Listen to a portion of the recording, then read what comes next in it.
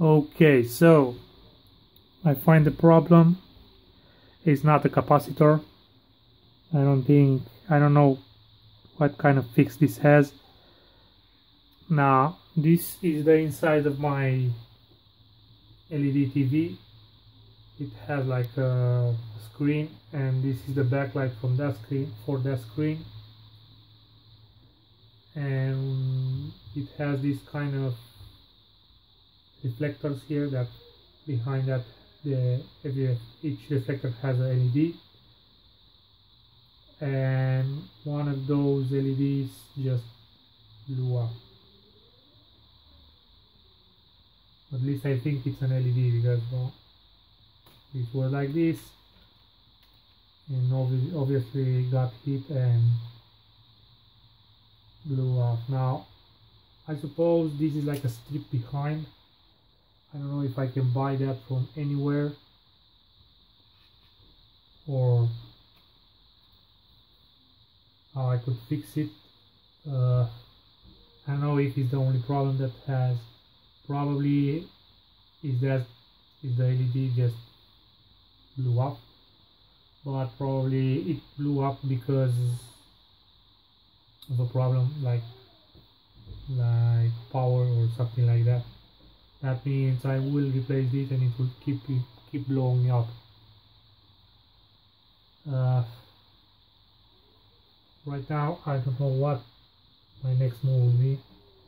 I suppose I need to take this out and see what's behind what's behind and uh, see if I can replace the, the, the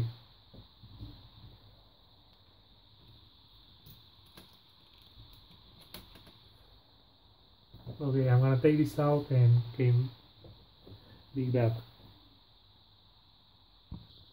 okay something what I didn't uh, say is that this with LEDs goes into this board here which I think it's a polarizer or something like that or gives like an uniform light to the to the LED screen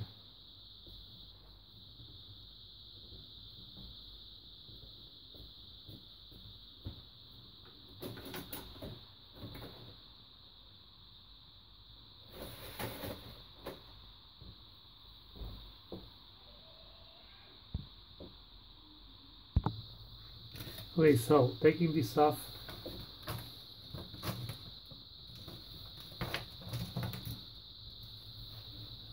it reveals these strips that I they just are just plugged plugging oh shit this is another one.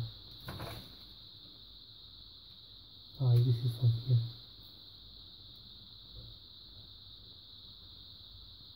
It just came down okay so this is like the reflector the good one and the bird one is this one.